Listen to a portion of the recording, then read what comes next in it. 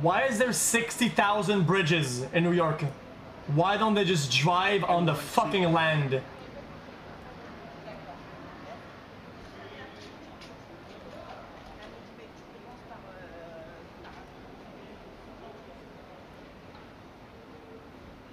Because the water, okay? Then don't build there. 100.